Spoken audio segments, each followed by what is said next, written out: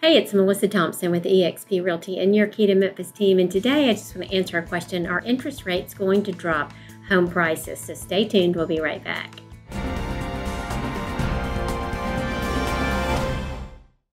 Well, welcome back. I've been asked this on a daily basis from sellers, from buyers, for everybody that you really talk to, obviously, because the interest rates have gone up so much this year.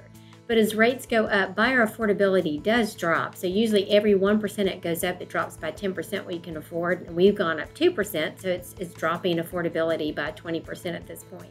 So, four things for four points to consider. The first one mortgages are getting more expensive, obviously.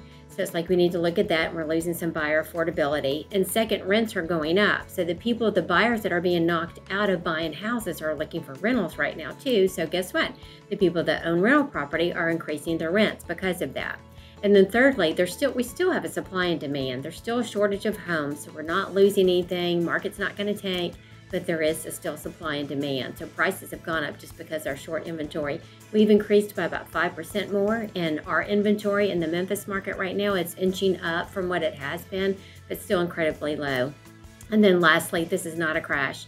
I was selling real estate when it was a crash, and that was because of bad lending practices, and none of that is what it is right now. Yes, we're having inflation. Yes, some things are, that are happening, but it's not a crash. So these are just some points when you're thinking about the interest rates and how it's going to affect your home prices. But if you want specifics, just reach out and let us know.